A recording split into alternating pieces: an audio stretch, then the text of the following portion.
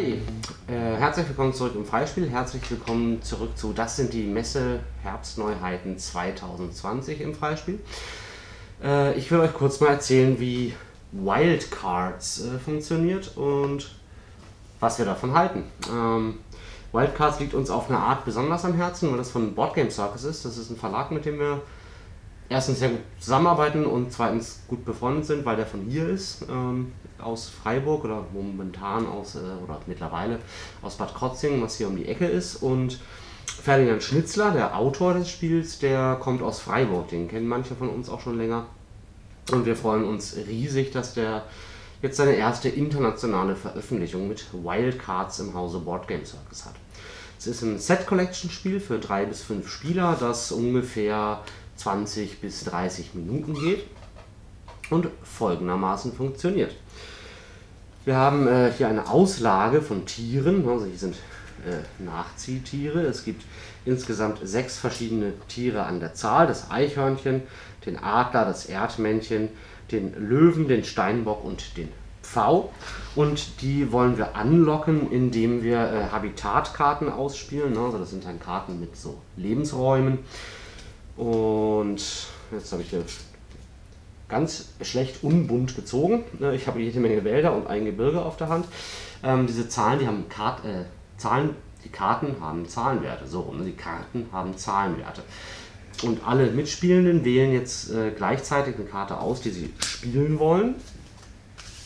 Machen wir das hier mal für drei Spieler. Das ist eine ähm, Auslage für. Ha, machen wir das weg. Das ist nämlich eine Auslage für vier Spieler. Also es ist immer ein Tier weniger in der Auslage als Spieler teilnehmen, sprich äh, mindestens eine spielende Person wird leer ausgehen jede Runde. Und diese Karte, die wir ausgewählt haben, die sind jetzt Gebote, um äh, den Erstzugriff auf die Tiere, die ausliegen. Das heißt, je höher die Karte ist, desto eher die Wahrscheinlichkeit, dass ich das Tier bekomme. Relevant ist dabei, dass ich die, das Gebot hinterher bezahlen muss und zwar mit weiteren Handkarten. Da habe ich also eine Viererkarte ausliegen und kann mir damit ein Tier nehmen. Muss ich äh, drei weitere Handkarten dazulegen. Jetzt haben wir vier insgesamt, die kommen dann auf den Ablagestapel und ich darf mir eins dieser Tiere aussuchen. Dabei gibt es äh, zweierlei zu beachten. Das eine ist natürlich, ich möchte hohe Karten spielen, um überhaupt äh, Zugriff zu bekommen. Andererseits muss ich überlegen, ob nicht eventuell Gleichstände entstehen könnten. Das ist jetzt hier zufällig entstanden. Wir haben zwei Spielende, die jeweils eine 4 gespielt haben. Und in diesem Gleichstand äh, müssen die jetzt mit den Karten, die sie nutzen zum Bezahlen äh, der, des Rechts zuerst zuzugreifen. Machen wir es hier mal absichtlich schlecht. So, eins, zwei ähm, müssen jetzt quasi mit den Karten, die sie zum Bezahlen nutzen müssen, äh, den Gleichstand versuchen aufzulösen, indem sie die jeweils höhere Summe an Kartenwerten ausspielen. Ich habe jetzt hier drei Karten dazugelegt, die insgesamt eine Summe von 4 bilden. Und meine Mitspielerin Petra hat äh, drei Karten ausgelegt mit einer Gesamtsumme von 7. Das heißt, Sie würde den Gleichstand gewinnen.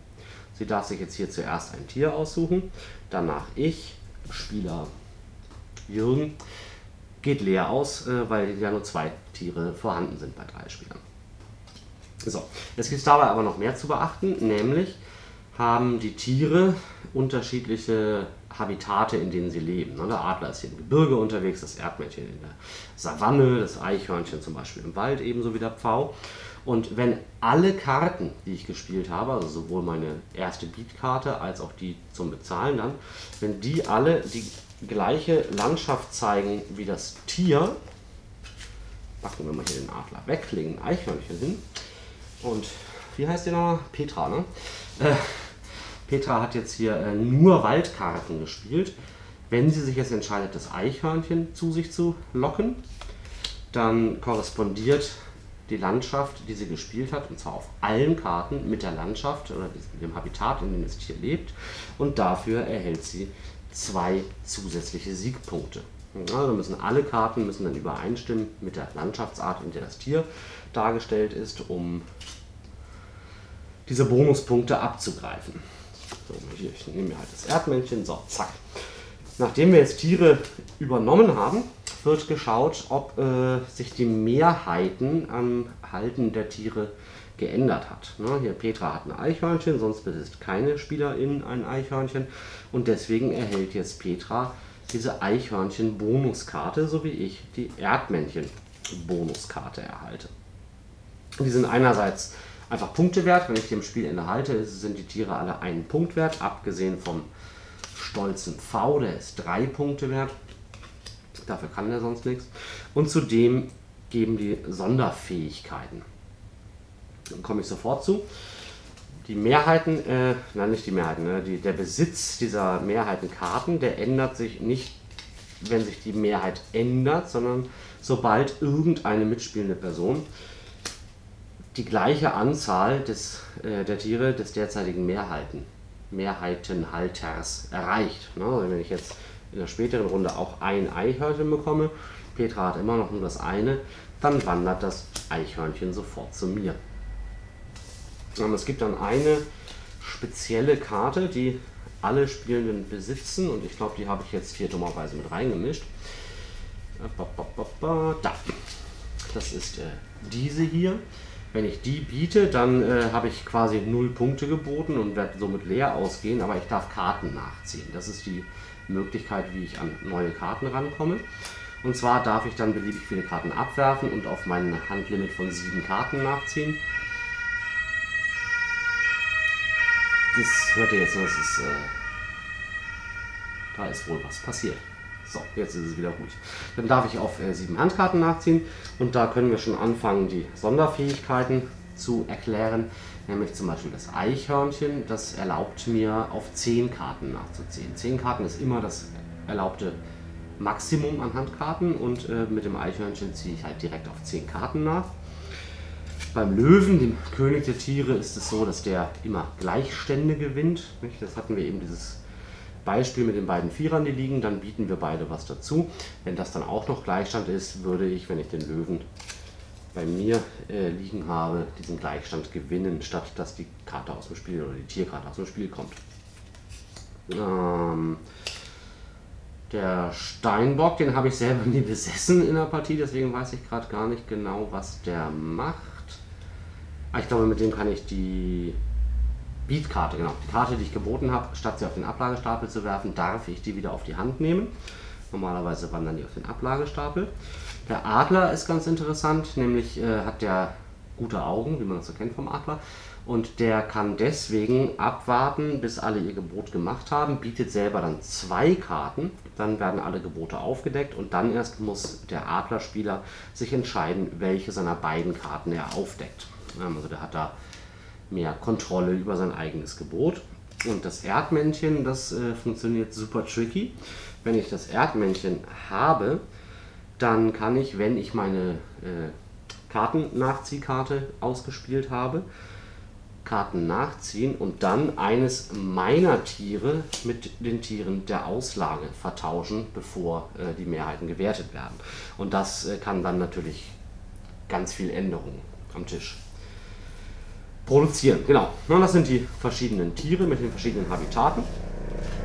Und äh, wenn der Stapel leer ist, die Auslage nicht mehr aufgefüllt werden kann, dann endet das Spiel mit dem letzten Gebot. Und wer dann am meisten Siegpunkte hat, einerseits eben über diese Habitatsbonuspunkte, andererseits über diese Punkte plus eine Mehrheitenwertung. Das Tier, von dem ich am meisten liegen habe, ist äh, pro Karte 2 Punkte wert. Das Tier, von dem ich am zweitmeisten liegen habe, ist pro Karte 1 Punkt wert. Und dann bilden wir die Summe der Siegpunkte und wer am meisten Punkte hat, hat gewonnen. Das war das Spiel. Äh, regeltechnisch finden wir super spannend, also ganz was Ungewöhnliches tatsächlich. Ähm, die erste Partie haben wir gedacht, huch, da haben die mit dem Balancing nicht aufgepasst und dann, um dann festzustellen, dass die Sachen, die wir für viel zu stark erachteten, äh, gar nicht so stark sind, weil der Spieler, der das äh, kontrolliert hatte, das Spiel an Haushoch verloren hat. genau, also sehr, sehr rundes Spiel und was uns super gut gefällt, sind die Illustrationen unter anderem. Der äh, Christian der Niederlanden, der hat für Boardgame Circus Q-Birds auch schon die Illustration gemacht, das war ja auch sehr, sehr süß. Er hat eben diesen, diesen Stil mit, mit diesen äh, gerenderten Quadraten oder geometrischen Formen, äh, mit denen er äh, Dinge baut, malt, kreiert, wie auch immer. Genau, und dann äh, die ganze Grafik ist, ist toll gemacht. Ne? Zum Beispiel eine Viererkarte, die äh, hat immer vier Dinge, die zur Landschaft passen. Also die ist hier in der, in der Wüste, da gibt es immer vier äh, Kakteen drauf. Die Einserkarte hat halt nur einen Kaktus. Das ist im Wald genauso. Die Viererkarte hat vier große Bäume, die Zweierkarte hat halt nur zwei Bäume. Bei den Bergen ist es ähnlich. Na, jetzt habe ich jetzt praktischerweise in der Dreierkarte liegen drei Gebirge drauf. Also auch grafisch ist unterstützt, was für eine Karte ich da ausspiele. Es gibt dann noch Joker-Karten für die Landschaften. Ähm, da ist dann hier ein Regenbogen drauf. Könnt ihr jetzt vielleicht nicht so gut sehen, weil er sehr kurz ist, weil es die Einserkarte ist. Äh, weil auch da ist dann die, der Wert der Karte dargestellt durch die Länge des Regenbogens in dem Fall. Ah, guck mal, hier ist ein Vierer-Regenbogen. Der geht dann eben über die gesamte Karte, während der Einser-Regenbogen sehr, sehr kurz ist. Und auf solche Details wurde auch bei den Tieren geachtet. Die haben immer, ich hole mal jetzt hier verschiedene Löwen raus.